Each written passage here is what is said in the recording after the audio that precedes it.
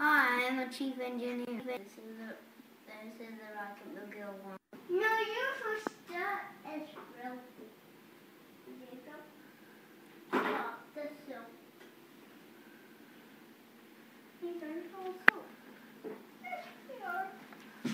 That's what smells like toothpaste. What's your name? Meteorologist, uh, Chief meteorologist? Okay, what's this?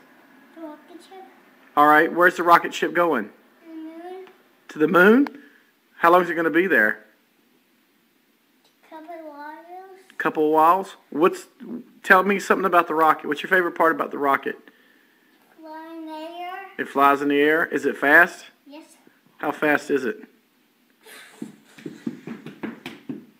It's pretty fast. What's this called? What's this called? The nose. That's right. This is the um, orange packet. This is the thing. And this is the nose cone, and this is for the wind. How? Where's the rocket going? The space. How long is it going to be in space? Wait for one minute. 90 seconds and counting. All systems are go.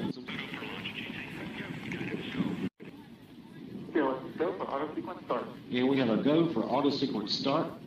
Discovery's onboard primary control of all the vehicle's critical functions. T minus 17 seconds and counting. 10, 9, 8, 7, 6, remaining start. Start. 2, 1, booster ignition, and liftoff.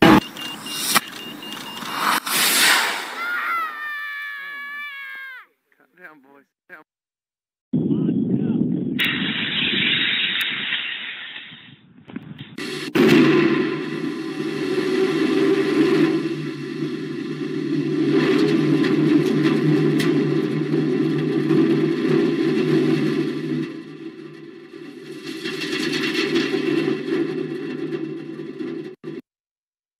You want this go far enough? Uh, bam, bam, bam, bam, bam, bam, bam.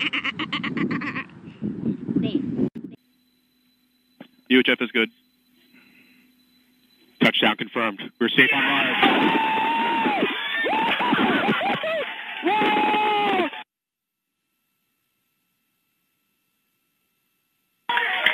Time to see where our curiosity will take us.